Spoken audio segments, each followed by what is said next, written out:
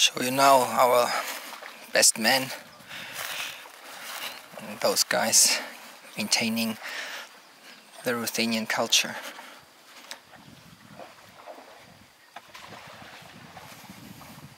Shepherd in the Oak Forest.